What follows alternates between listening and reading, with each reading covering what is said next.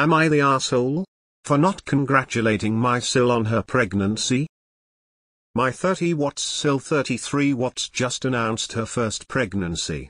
Me and my husband her brother already have a two-year-old and her twin sister already got a few kids, so she was the last of us childless. Here comes the twist, we lost our second born in July on their birth, in an absolute unpredictable way. We personally don't wait until a certain week to announce a pregnancy because life is unpredictable and you have no guarantees anyway. So we announced this pregnancy way before week 12 and her exact words were you're pretty brave to announce the pregnancy that early. The birth of said child was also the reason we weren't able to attend her wedding which just happened on the same day a four hour drive away we didn't spread the news about our son's death on that day though. She announced her pregnancy at a little get-together that originally took place to celebrate her and her twin sister's birthday. Apparently she wasn't pregnant with one children but twins but lost the child early into pregnancy. And she was openly happy about it. She started listing all the reasons she was glad that she didn't have to buy everything twice and didn't have to do twice the work act. I was sitting across the table and I didn't even know how to react, First of all of course her pregnancy announcement triggered some feelings of jealousy and I would have wished for her to tell us beforehand and not in a room full of people. But I'm not mad about that or anything although I find it a bit insensitive. On the other hand her happiness about losing a child left me speechless. I mean I guess I kinda get her train of thoughts but I think some thoughts are inside thoughts and I must admit I felt offended about being confronted with her reaction to child loss in that kinda way. Anyway neither me not my husband got up to hug her or congratulate her and she later on texted my husband that she wasn't happy about the way we acted. Nah it's all very difficult. I'm so sorry for your loss and of course you're still grieving and comments hurt and that's okay. You're allowed to feel that way and also a little jealous. Your Sil is also allowed to feel the way she does and honestly sounds like she may be putting on a brave face and making joking comments as many of us do as a way of dealing with her own grief. Maybe instead of growing apart, and being bitter reach out and be each other's support for you both have lost and are grieving. Edit typo. Your Sil is probably trying to rationalize her grief. I don't see any R's here. I don't think anyone here is an asshole. I'm so sorry for your loss.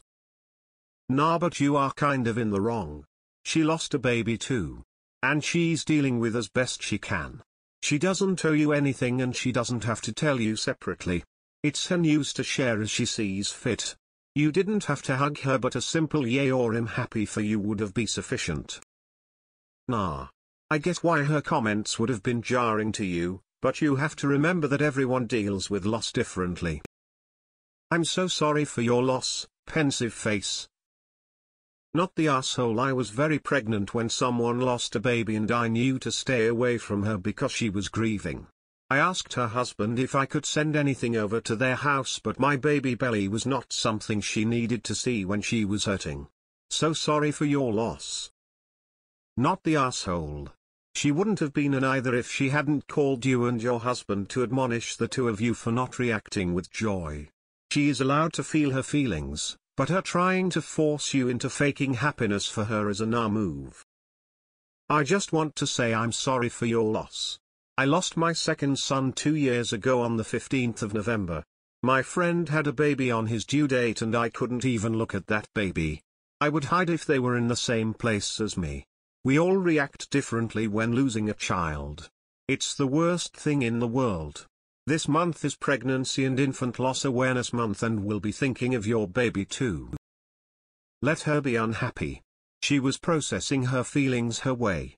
You were processing your feelings your way. Given the background, you and your husband can be given a pass for not responding with immediate joy. That moment is past now you can move forward with more positive feelings toward the birth of this newest child to the family. Here. You had a valid, emotional response since you were still recovering from your loss. She is likely putting on a brave face and trying to be happy for the surviving twin. I would still write it all out and apologize, just saying that the lost twin triggered your grief so you weren't at your best. Congratulate her for her future offspring coming, and try to move on. It's nice to see everyone thinks it's her way of coping, but what if she really doesn't care and is actually very happy about it?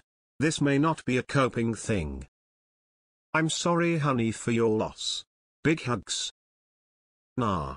She's rationalizing her grief at losing an unborn child. It has nothing to do with you or your own loss. She can be unhappy about your lack of congratulations, but your DH can and should explain that the two of you are still grieving, and were a little taken about by the way she was finding the positives in losing a child. You were shocked and overwhelmed but meant her no personal disrespect. Not the asshole. Maybe she truly isn't happy about losing one of the babies but this is just her way of coping right now, not the asshole, but congratulate her. Every child is worth celebrating. When I lost my child in the second trimester, between my tears, I mumbled, I didn't want a newborn in February either way it helped me cope with losing my child. She is doing the same. Dealing with family is hard. Dealing with family that is dealing with trauma is even harder. You all are processing grief and expressing it in different ways. For you it might be jealousy and depression.